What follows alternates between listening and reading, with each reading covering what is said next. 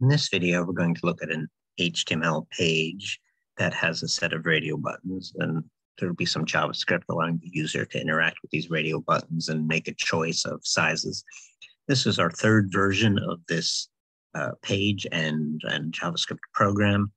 Um, this time we're going to have JavaScript add the radio buttons dynamically to the HTML page. So the HTML page will be simpler. The JavaScript is going to be more complicated, but it's going to add dynamically. So we could have, ultimately, we could have uh, the JavaScript read some file and get some data from the file and then make radio buttons. So it's leading towards a very sort of dynamic uh, a page. Um, so we're building up in our sophistication. This is version three of radio buttons. The code can be found at the URL seen here.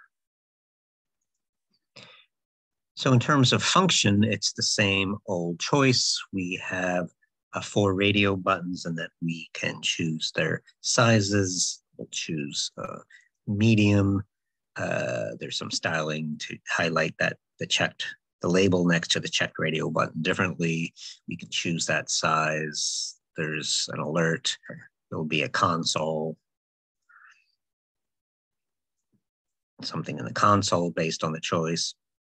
And then if we, and then something on the page. And then if we change the, the choice and the radio buttons, it cleared out the answer. And then we can uh, click the button again. Okay. So the style hasn't changed from previous versions. So we're not going to talk much about it. Look at previous versions of this radio button uh, discussion. Here is the HTML.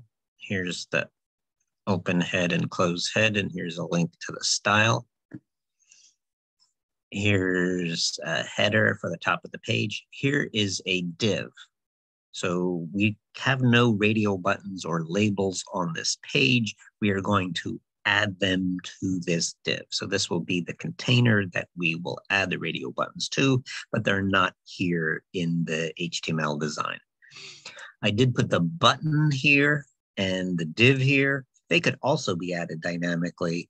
Um, but I'm just trying to keep it simple and just have the radio buttons added. So I make, I design, I have some page. I know there are going to be choices. I'll make a place for the choices, but I'm saying I don't know what the choices are.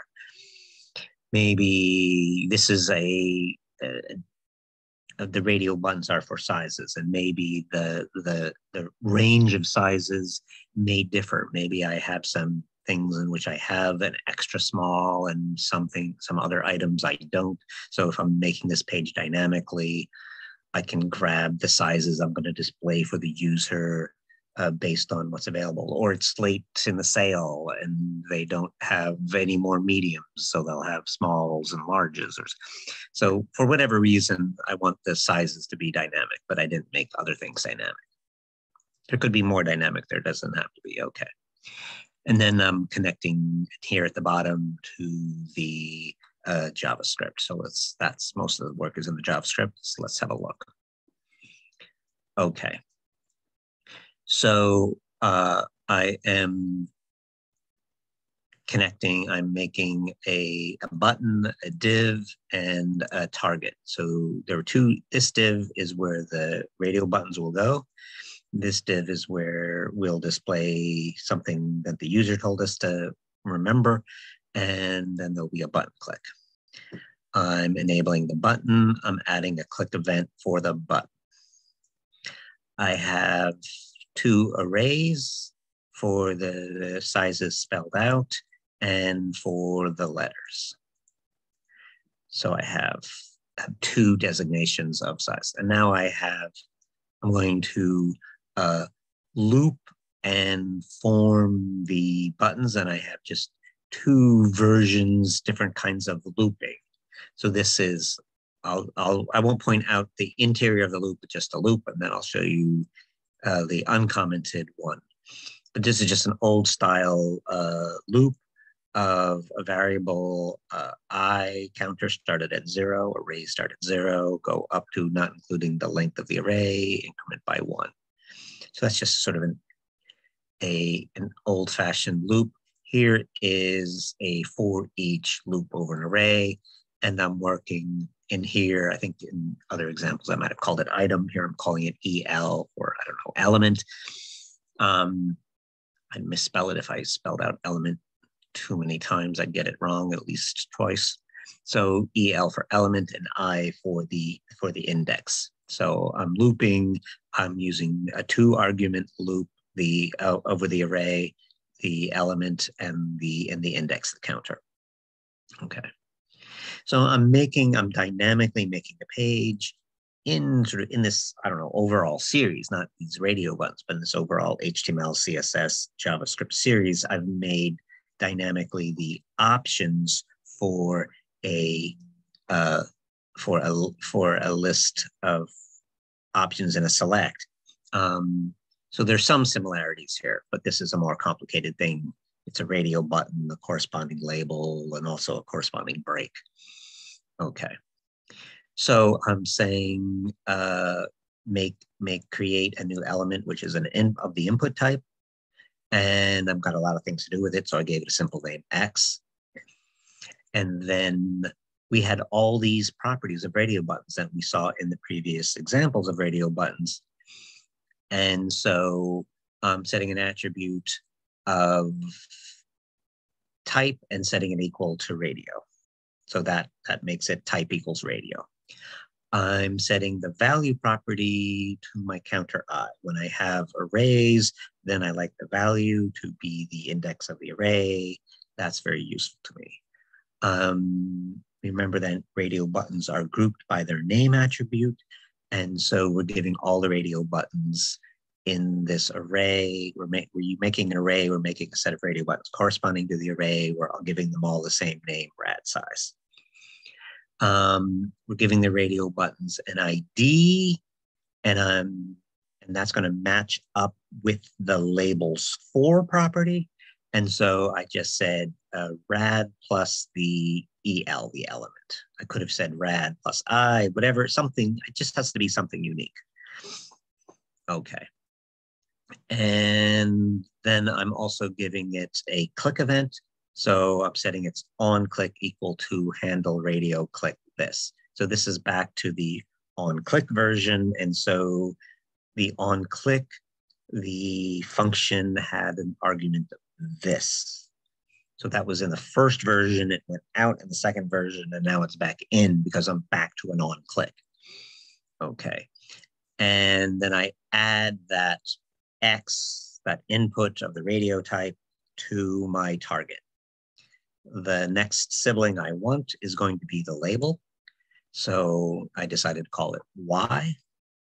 I'm done with X. I could have used X, but I'm, I'm making a new thing Y, creating a label element.